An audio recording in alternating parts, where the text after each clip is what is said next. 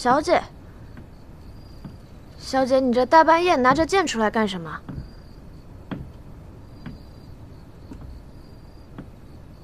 我，我怕师傅叫我的剑法生疏了，可以出来练练。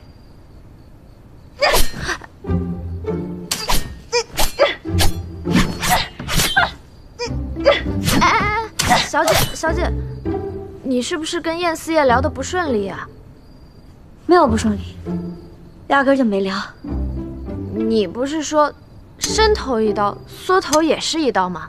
怎么关键时刻又怂了？不对，伸头是一刀，缩头根本就挨不着刀。你这是怎么了？大半夜不睡觉，拿把大剪子干什么？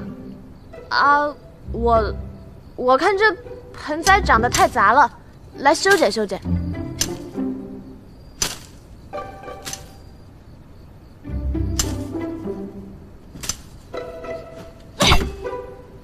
越难接你就越难接，还让严小狼说是七玄君找你，我缩头了，你为什么不给我解释？再说了，你是回绝了兰姬，但也不代表你对我有意思，对不对？你就是，又骗我，又不跟我解释，当我是什么人？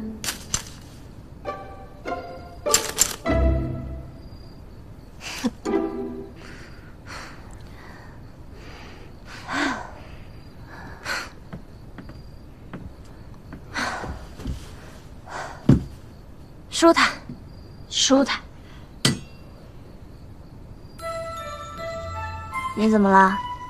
严小狼惹你生气了？他哪有时间惹我啊？我可听说他正忙着提亲呢。不是说拖着的吗？谁知道呢？那女子出身名门，长得还标致，说不定严小狼现在乐疯了呢。倒是他，就是一个纨绔子弟，为人跋扈，脑子还不太灵光，长得长得也就那么回事吧。人家也看不上他。我倒觉得严小狼挺好的，至少他心思单纯，不像某些人。小姐，你又是怎么了？别听，睡觉。关门。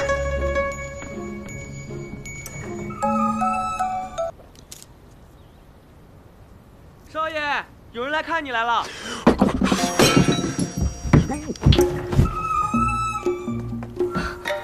严小狼，你干嘛自暴自弃啊、哎呀，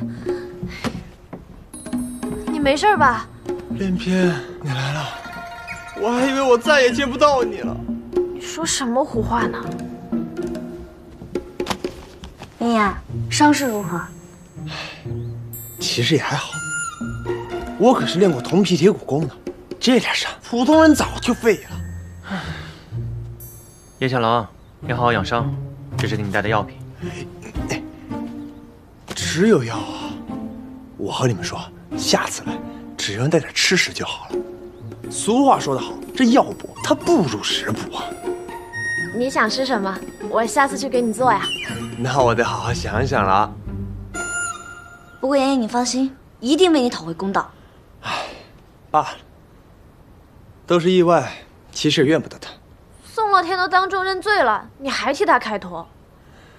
他是好面子才这样说的。他那个人我知道，胡闹可以，恶事做不来的。想当年也是踩死蚂蚁都会哭半天的主，况且小爷我这身板，他能打到我，他能打伤我？哎呀，少爷，出事儿了！要与你定亲那家小姐被宋家挖了墙角，宋乐天刚刚去提了亲，你的婚事泡汤了。哦，好，好，他总算做好件人事。特别疼吧？没事儿，有你在，就不疼。快躺好，你这伤还得养养。好，慢点儿。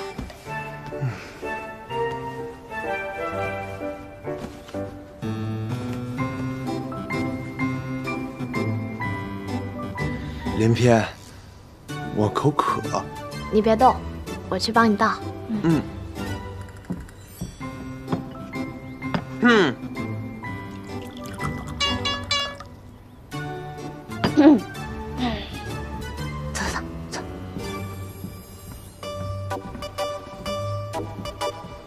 我还想吃个橘子，有吗？好，我去给你拿。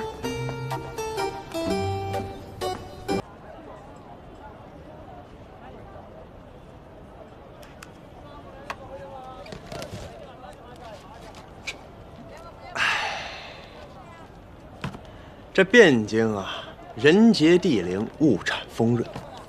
就单说这茶，可是有名的西山微雨，当年也算是贡品。此茶每年只有那么一个时辰出产，要在清明当天的晨露下，采摘每一棵茶树上最嫩的那一片叶子。有虫子，啊，什么虫？懒虫。我说严小狼，我都在这儿陪你好几天了，你这伤什么时候才能好啊？我看你这整天酒楼茶肆乱窜，也不像个受伤的样子。哎呦，没有没有，我这不是强颜欢笑，转移注意力吗？其实真的挺疼的。哎，连篇，我要是一直好不了，你会这样照顾我吗？当然不会了，我现在就烦得很。我跟你说，你赶紧把伤养好吧，别让我讨厌你。赶紧喝茶，好，喝完回家。喝严小爷，进。严小爷，实在对不住，宋太傅的公子明日大婚，宋家今儿非要包下酒楼试菜，小的实在为难。严小爷，我们掌柜的说了，给您找一家上好的茶楼，茶钱小店付。要不，我派辆马车送您过去。这个宋老天，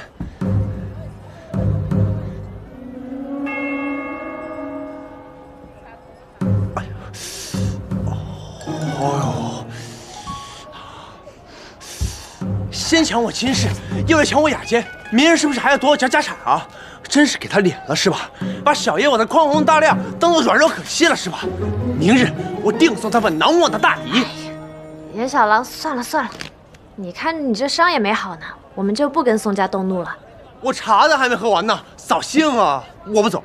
哎呀，店家不都说请你喝茶了吗？这茶钱你们付是吧？哎，能再送点点心吃吗？没问题，全凭严小爷开心。那都把这些给我包起来吧。哎，得嘞。走吧。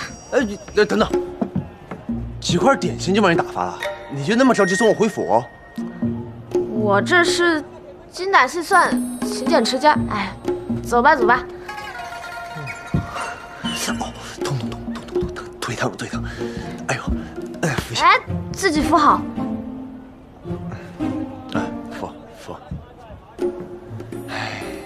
扶一下。哎哎人。